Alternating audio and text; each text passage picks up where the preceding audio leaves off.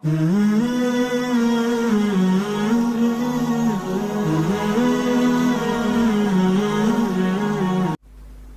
कैसे ज़बरदस्त अखलाक? बात से बात निकलती है, दिमाग में फिर चीज़ें आती है ना। ये जो अल्लाह के नबी ने बांदी से पूछा आई अल्लाह? बांदी ने क्या कहा?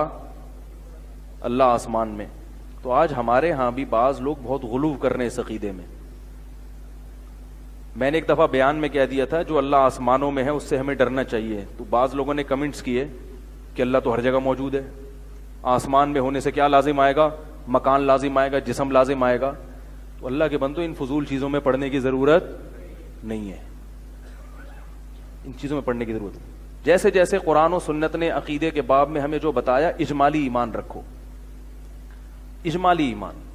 कुरान जगह जगह कह रहा है, रहमान अर्श। रहमान कहाँ है? अर्श पर है। ये जो कुरान में आता है वह माकुम आई नमाकुन तुम तुम जहाँ भी हो रब तुम्हारे साथ है। तो यहाँ मैयत मदद के माने में है। जैसे हम कहते हैं ना, बेटा तुम जहाँ भी हो, मैं तुम्हारे साथ हूँ। क्या मतलब मेरी मदद तुम्हारे साथ है? तो बाकी अल्लाह की जगह की जहाँ भी बात आई, अल्लाह है कहाँ तो कुरान में कहाँ है? अर्श पर है। हदीस में आता है कि सबसे पहले अल्लाह का अर्श पानी पर था। जब, यानी सबसे पहले जो है ना, जब कायनात बनी है तो फिर सातवें आसमान पे इले ही असादुल कलीम तय्यब अल्लाह ही की तरफ़ चढ़ते हैं, पाकिजा कलिमात। तो सारे ऊपर जाते हैं। फरिश्ते कहाँ से आते हैं? ऊपर से आते हैं। तो ज़ाहिर है, अल्लाह के दरबार से होके आते हैं। अल्लाह से जबरील सलाम जो वही लेकर आते थे, अल्लाह जबरील से हम कलाम होते थे। जबरील वो कलाम ऊपर से लेके कहा नाजिल होते थे? ज़मीन पे नाजिल होते थे। सूर्य मुल्क जो हम पढ़ रहे हैं, इसमें आता है अमिन तुम मन फिसमाकुम हासिबा। क्या तुम इस बात से बेखौफ हो गए कि जो जात आसमान में है, वो तुम पर कोई तूफ़ान भेज दे? तो जगह जगह अल्लाह अपने बारे में कह रहे हैं, मैं कहा हूँ? आसमान में, अर्श पर। बाज लोग इस पे ये कहते हैं कि अर्श पे होने से मकान लाजिम आता है, जिहत लाजिम आती है, जिसम लाजिम आता है। हम ये कहते हैं, कुछ भी लाजिम नहीं आता। इसलिए कि अल्लाह मकान से पाक, अर्श से पाक सॉरी, जिसम से पाक, क्योंकि हम अल्लाह को अर्श पे मानते हैं कमाहू अल्लाह बिशानी ही जैसे कि उसकी शान है। क्योंकि अगर आप इस बुनियाद पे अल्लाह के अर्श पे होने की नफी करोगे कि अल्लाह के अर्श पे होने से जिसम लाजिम आता है तो फिर हर जगह होने से भी तो जिसम लाजिम आएगा। तो अगर आप ये तावील करते हैं कि नहीं हर जगह है बिला कैफियत। तो फिर यही कह लो कि अर्श पर भी है, बिला कैफियत। किसी ने मुझे बताया कि भाई देखो, रमज़ान है जैसे। जब रमज़ान का महीना आता है तो हर जगह होता है ना, लेकिन बगैर जिसम के होता है। भाई दुकान में भी रमज़ान है, घर में भी रमज़ान है, मगर जिसम के बगैर। तो अल्लाह भी हर जगह है, मगर जिसम के बगैर। तो मैंने उनसे ये कहा, मैंने कहा, देखो भाई, जब आप रमज़ान को हर जगह मान सकते हो जिसम के बगैर बगैर जिसम के रमज़ान है। तो हम ये भी तो कह सकते हैं, देखो पिशावर में रमज़ान एक दिन पहले होता है। तो जब पिशावर में एक दिन पहले है, कराची में उस दिन रमज़ान नहीं है। यहाँ रमज़ान नहीं है, सिर्फ़ कहाँ है? पिशावर में। तो वो भी बगैर जिसम के है ना? क्या ख्याल है? तो इसी तरह अल्लाह अर्श पर है, बगैर जिसम के है। इसमें कौन सी ऐसी खराबी लाजिम आ रही है?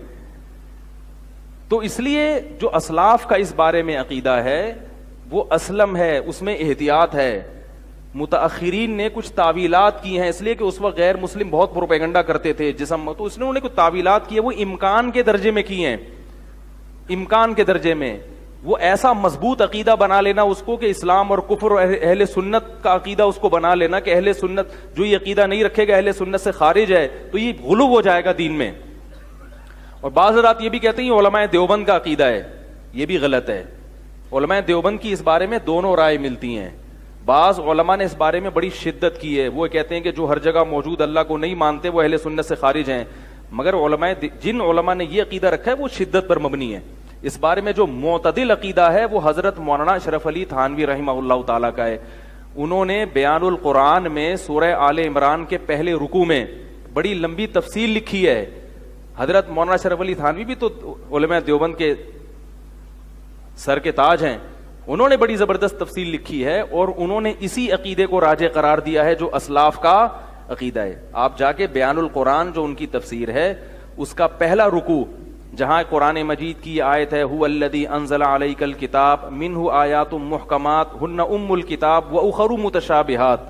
फ़अम्मल्लज़ीन फ़ी क़ुलूबिहिम ज़ैग़ुन फ़यत्तबिऊन मा तशाबह मिनहु इब्तिगाअल फ़ितनति व इब्तिगाअ तअवीली व मा यअलमु तअवीलहु इल्लल्लाह वर्रासिखून फ़िल यक़ूलून आमन्ना बिही कुल्लुम मिन इंदिल मिन इंदिल्लाह तो इस आयत के तफसीर में हज़रत हकीमुलम्मा मौलाना शरफ अली थानवी रही ताला ने उसी अकीदे को राज करार दिया जो मैं अभी आपके सामने बयान कर रहा हूँ। तो इसलिए इसको देवबंदियत का या अहल सुन्नत का या इन चीज़ों का मैार मत बनाए। लेकिन फिर भी मैं इस बारे में एक एतदाल की बात करता हूँ कि अगर कोई ये अकीदा रखता है कि अल्लाह अर्श पर ख़ास कैफियत, कुछ अल्लाह की ख़ास तजल्ली है, मगर हर जगह मौजूद है तो हम उसको भी अहल सुन्नत से खारिज नहीं करते, क्योंकि अल्लाह की ज़ात की गहराइयों में जाने से हमें मना किया गया है। लेकिन असलम यह है, एहतियात इसी में है कि जैसे कुरान का ज़ाहिर है, उसको अपने ज़ाहिर पर रखा जाए। और कहा माना जाए अल्लाह को? इसमें जैसे ये सही हदीस है ना, अब मैंने बयान में ये कह दिया कि जो अल्लाह आसमानों पर है, अर्श पर है, वो हमें देख रहा है तो इस पर लोगों ने कमेंट शुरू कर दी कि इनका, ये तो अहले सुन्नत से खारिज हैं। तो मुझे अगर अहले सुन्नत से खारिज करोगे तो उस बांदी का क्या करोगे, जिससे नबी ने पूछा इन अल्लाह अल्लाह कहाँ है? उस बांदी ने क्या कहा? फिर समा. तो उसको तो नबी ने नहीं कहा, जिसम लाजिम आ रहा है, मकान लाजिम आ रहा है, कुछ भी, ठीक है भाई, फरमाया आतिका फ़ैना मोमिना। तो इस्लाम ने इस किस्म के अकीदों में हमें इजमाली अकीदा रखने का हुक्म दिया है। इजमाली, बस, ज़्यादा गहराई में जाने की चंदा ज़रूरत नहीं है। बस, इतना काफ़ी है। और अगर किसी बुज़ुर्ग ने इसके खिलाफ लिखा है तो उनकी शान में तोहिन भी मत करो। बोले, भाई, उनकी जो समझ में आया, उन्होंने लिख दिया। वैसे एक उसूली बात आपको बता दूँ कि तकलीद फ्रोई इख्तलाफी मसाइल में होती है। अकायद में तकलीद फ्रोई मसाइल में भी वो जो मुतफ़ नले हैं, जिसमें कुरान हदीस बहुत वाजे है, उसमें भी किसी की तकलीद नहीं होती। उसमें कोई हनफी शाफी नहीं होता। अब पाँच नमाजें हम इसलिए थोड़ी पढ़ते हैं कि इमाम मुनीफा ने कहा है। नहीं भी कहते तो भी हम पाँच नमाजें पढ़ते। रमज़ान के रोज़े हम इसलिए नहीं रखते कि इमाम अबू हनीफा की राय है। हम इसलिए रखते हैं कि कुरान और हदीस ने वजाहत के साथ बल्कि इमाम अबू हनीफा अगर कहते हैं ना रमज़ान के रोज़े नहीं है तो हम इमाम हनीफा को मुश्तहिदीन की फहरिस्त से ही खारिज कर देते। हम कहते हैं, आप मुश्तहिदी नहीं हो, आप इमाम आप इस काबिल ही नहीं हो कि आपकी इतबा की जाए। तो ये तो नसूस कुरान और सुन्नत की वाज नसूस हैं जिसमें कुरान और हदीस ने बिल्कुल दो टोक अल्फाज में अकीदे, यानी जो मसाइल वाजे कर दिए। हाँ कुछ मसाइल ऐसे हैं जिनमें कुरान और हदीस दोनों तरफ़ है। फरोई मसाइल कहा जाता है, जिनको फरोई नहीं, इख्तलाफी। फरोई तो बहुत सारे मसाइल हैं, लेकिन इतफाकी हैं। उनमें इख्तलाफ की गुंजाइश नहीं है, उनमें तकलीद भी नहीं है। तकलीद सिर्फ़ उन मसाइल में होती है जिनमें मुजतहीदीन का इख्तलाफ होता है, और इख्तलाफ इसलिए होता है कि दलाइल दोनों तरफ़ होते हैं। रफुल दैन के दलाइल भी हैं, ना करने के भी हैं। हाँ जिसको रफुल दैन ही के नज़र आ रहे हैं, ना करने के नज़र नहीं आ रहे, वो अपने चश्मे का नंबर चेंज कर लेगा तो उसको ना करने के दलाइल भी नज़र आएँगे। हमें तो अल्हम्दुलिल्लाह दोनों नज़र आते हैं, रफुल दैन वाले भी, रफुल दैन। इसलिए हम ना रफुल दैन करने वाले को गुमराह करार देते हैं और ना ना करने वाले। लेकिन हम कहते हैं दोनों तरफ़ दलाइल हैं तो इसमें हमने इल्तजाम किया है कि जो इख्तलाफी मसला होगा, उसमें हम इमाम अबू हनीफा की राय को फॉलो करेंगे। दूसरों की आरा का एहतराम करते हुए। समझ में आ रही है बात? जो इख्तलाफी मसाइल, क्योंकि उसमें जब इख्तलाफ हुआ ही इसलिए कि दलाइल मुतारिज थे। अगर दलाइल में टकराव ना होता तो अम्मा का इख्तलाफ ना होता, क्योंकि ये लोग कुरान हदीस को जानते भी थे और कुरान हदीस को हमसे ज़्यादा समझते भी थे।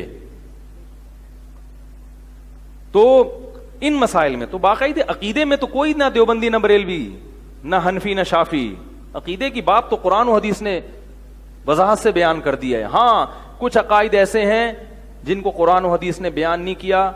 उनमें बहुत गहराई में जाएँगे तो इख्तलाफ होगा। फिर कोई मातुरीदी बनेगा, कोई अशायरा बनेगा, कोई क्या बनेगा तो वहाँ तक जाने की ज़रूरत ही नहीं है। लिहाजा कुछ बनने की ज़रूरत ही नहीं है। क्या ख्याल है? एक साहब मुझे कहने लगे, आप मातुरीदी हैं या शायरा हैं? मैंने कहा, क्या करना है भाई? क्या करना है मातुरीदी या शायरा बन के? कह रहे, नहीं, वो जो डीपली जब आप जाएँगे, मैंने कहा, डीपली हम जाते ही नहीं। हम डीपली जाते ही नहीं। इतनी गहराई में हम हम ना शायरा को बुरा समझते हैं, ना मातुरीदिया को बुरा समझते हैं। सब बुजुर्गान दीन थे अपने अपने वक्त इनको जो समझ में आया उस हिसाब से लिखा। लेकिन ये सब चीज़ें आवाम के लिए नहीं है बल्कि उलमा के लिए भी नहीं है। थी किसी ज़माने में उसकी ज़रूरत थी जब प्रोपेगंडा बहुत था और यलगार थी गैर मुस्लिमों की तरफ़ से एतराज़ात होते थे इस किस के उन एतराज़ात के जवाब में कुछ तावीलात की गई और कुछ इख्तलाफात भी हुए। अब इन ना वो एतराज़ात होते हैं ना हमें उनकी तरफ़ जाने की ज़रूरत। तो एक साहब मुझे कहने लगे ये, तो, ये इस मसले में जो आप जो बात करते हैं अहल हदीस भी तो यही कहते हैं। मैंने कहा, अहल हदीस अगर कोई सही बात कह देगा। ठीक ठीक। तो इसलिए कि वो चूँकि अहल हदीस ने कही, अब मैं उसकी मुखालफत करूँ। ये कौन सा इस्लाम है? अव्वल तो सिर्फ़ अहल हदीस नहीं कहते, हमारे भी बहुत सारे अकाबिर ने ये बात लिखी है। मैंने सबसे पहले मोहनवी थानवी रहमा का हवाला दिया आपको बयान कुरान में। बाकी ये कि अकीदे की बाब में कोई कोई मसल ना अहल हदीस होता है कोई। ना कोई देवबंदी होता है, ना कोई अकायद की बाप कुरान और सुन्नत, जो ज़रूरी अकायद हैं, उनको कुरान और सुन्नत ने बहुत वजाहत से बयान कर दिया। उसमें बस इजमाली अकीदा रखो और ज़्यादा गहराई में जाने की कोशिश मत करो। क्यों?